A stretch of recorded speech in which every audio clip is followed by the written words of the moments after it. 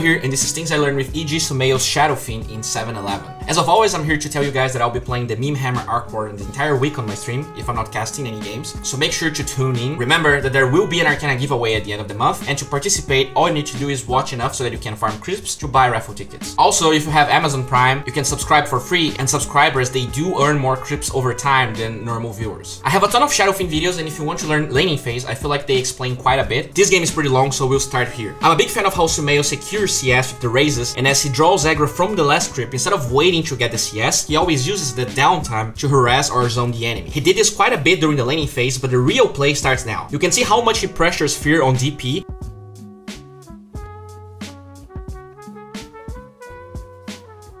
And as he commits the double razes, he gets initiated. Notice how he plays this. He has the magic one, but he waits as long as possible to use it. As the stump comes, he kills Bounty Hunter with the short raze and disengages. With the magic one being used at the perfect time, he survives, but he gets glimpsed back. So he learns Requiem of Souls at level 6. While he has no mana since he bought enough time to cast the medium range raze on Disruptor, the damage plus the soul damage is enough to guarantee Sumail a double kill, while if he just learned souls, he wouldn't actually get any of the souls and he would die and lose souls anyways. At level 6, you can already destroy creep waves with double razes, and that's pretty good against heroes like Bounty Hunter and Disruptor. It's not a good idea for Sumail to pressure the tower this game without vision of those heroes in other lanes, so he just shoves the lane while he farms the easy ancients or jungle camps. What I want to talk about is how Sumail played when he had vision of the other supports. Bounty Hunter shows up here, and while Sumail ends up missing the last raze, look how he plays knowing that there's no Bounty Hunter for some time when Shadow Shaman passes by. He's always harassing Fear because he knows how hard it is for DP to farm when he's here. Because of that raze, and the fact that Sumail checks the inventory and knows that his second set of raindrops is in the backpack,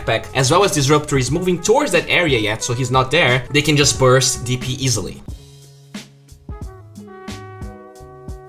We see that again here. Bounty Hunter is showing up top and Disruptor is bottom. While most Shadow Fiends would raze the wave and farm jungle, as I mentioned, Sumail can farm more going jungle, but if he farms less while harassing DP, he will be more farmed than Fear in comparison, just because of how much gold the lane gives in comparison to jungle, even if you can farm it pretty fast. He taunts the raze first, and it's clear he is less interested in farm than he is in denying farm by baiting Fear in when he goes for a last hit. If he pushes the wave now, at this stage, Fear will get every last hit, and if Sumail tries to push the wave and then pressure as the creeps attack the tower, he risks dying because of glimpse or TPs. Because of Sumail's playstyle, Fear is losing his second set of raindrops and already is very low HP. I know that a lot of people watching are not fans of the Eul's Scepter Shadow Fiend. In this game though, the item makes sense for a lot of reasons. There are three cores on the Radiant side that don't want to go BKB, and that Shadow Fiend would have a super hard time killing without BKB. The thing though is that BKB doesn't help against Exorcism or Impetus, while if he goes Eul's Scepter, he can pretty much solo kill three of the cores there, provided the Lifestealer already used Rage. He can also dispel Open Wounds, Track, Silence, avoid static storm damage, it gives mana regen for Shadow Fiend, and a lot of Shadow Fiend's farm comes from mana, and it also synergizes with the move speed talent at level 15. It's usually hard to combo with the Eul's Scepter before Blink, so the first showing of the item happens as soon as Sumail gets it. Ursa gets engaged here, but Sumail knowing that he had gold for Blink doesn't help, especially because Exorcism had been cast already. He ends up getting Glimpse as he wanted to use Death Prophet, but it ends up being good because they kill her without the use, and something people forget sometimes is that the Eul's Scepter is a good setup for the triple raze combo, and knowing that most Radiant heroes were already dead, he can just set up here, saving Requiem for the next fight.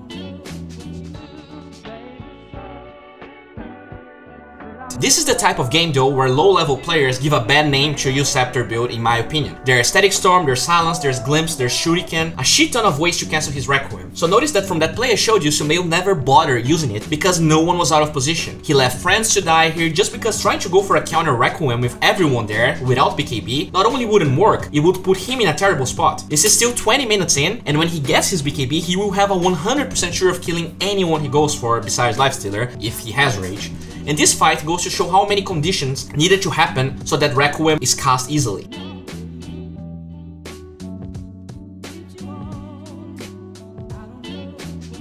Disruptor is dead here, so there's no Glimpse and no Static Storm. Shuriken gets used, and Death Prophet's use gets used. So even if the Requiem is not perfect, there won't be enough time for the cast point of the Silence, allowing him to go in. If any of these conditions were not met, it would be super hard to kill DP. He also gets Bounty, and with the Eul's Scepter, disengages from the fight. Another great benefit of Blink Dagger Eul's Scepter is how easy it is to set up razes to kill squishy but hard to kill heroes like Enchantress. Pay attention how Sumail selves, TPs to the shrine so he can get there fast enough. When he sees Enchantress, he waits her movements, and when he disengages, he uses the long raze, then blinks towards the direction she went for and uses the other two. She's super fast so he couldn't actually get the use, but with any other hero he would probably get the kill. This is the first fight that Sumail has BKB and it's after he dies, so he doesn't have full souls when it starts. While a lot of people think that use counters the use combo because you can dodge the damage, DP will be in perfect position for a triple raze after you have BKB, provided that you're not alone. Sumail though hits the combo anyways and I want to show you why. A lot of people they engage with Blink and they get super close from the target when they Eul's Scepter and in these situations it's kinda hard to actually gauge when you have to use the Requiem. But when you're close to the max range of Scepter cast range, the time to walk into position is pretty much perfect for you to cast and hit the enemy. Regardless, that's a kill even though the use Scepter was there. It's also interesting to see that after the fight ends and the only hero alive is Disruptor, Shadow Fiend does not shrine. He actually prioritizes defending every single lane instead of healing. He is in no risk of dying right now while he can make a difference defending towers and pushing waves.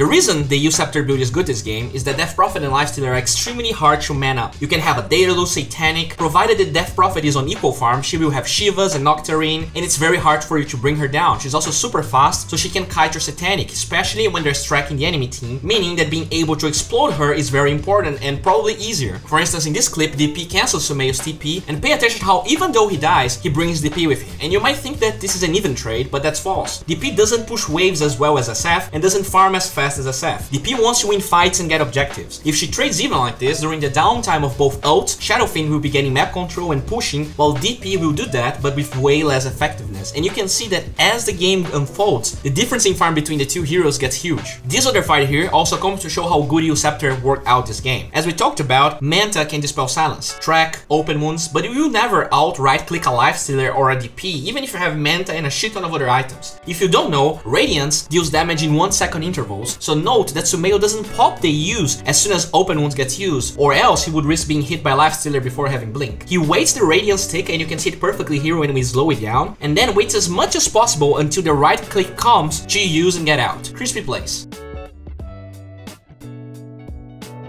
The fight keeps evolving and again we see a situation where Sumail doesn't engage, even though he had the chance to burst someone. If Sumail commits BKB Requiem here, he will have to fight and possibly die before he can disengage because of Lifestealer chasing him and then being glimpsed back. He just does his best to repel Radiant and the end result is that no high ground was lost and Radiant doesn't feel comfortable pushing knowing that the three cores are up. Well, if he goes in, he risks losing it for a chance of what? Bursting one hero? That wouldn't change the fact that they will still be outnumbered and then Shadow Fiend wouldn't be able to fight after that Requiem. What Radiant tries to do is Rosh, but pay close attention to the fight. Sumail Clarities before following Ursa,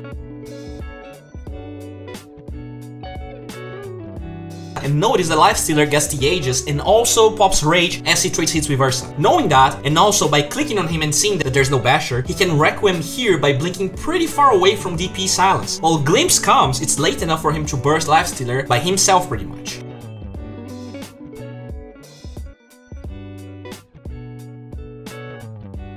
As the fight unfolds, he's forced to pop BKB exploding DP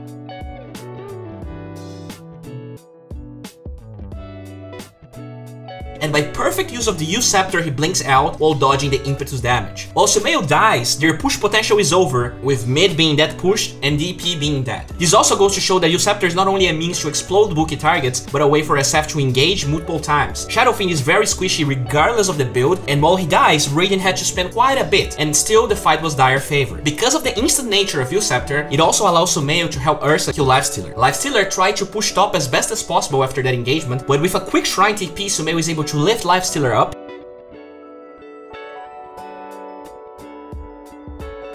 And even though he had Rage ready, he gets obliterated quite easily by the Ursa. When you go for the Eul's Scepter BKB Blink, one of the best items you have is Vyse. With the 50% cooldown reduction talent, not only you will need more mana in Mana Regen to use so many raises and Requiems, the Vyse itself becomes a terrifying item on the hands of Shadow Fiend with so much cooldown reduction. The instant aspect of it is also great against heroes like Lifestealer, Disruptor, and even Enchantress that can pop the Nature's Attendant. This fight against Enchantress showcases the benefits of the item and how the 19 mana regen per second makes Shadow Fiend feel like Lina even against big waves of creeps in the late game.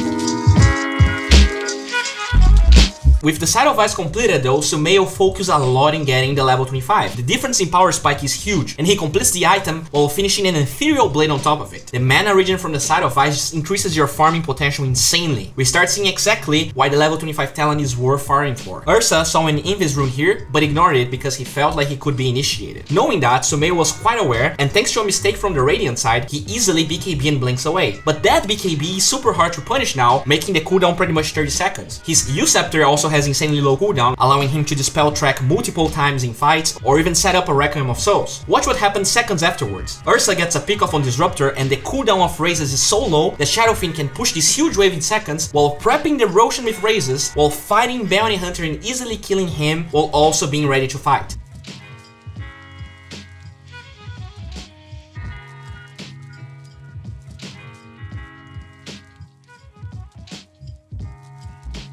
Pay attention how he blinks in the high ground and with the Ethereal Blade Raze combo almost brings Fear down.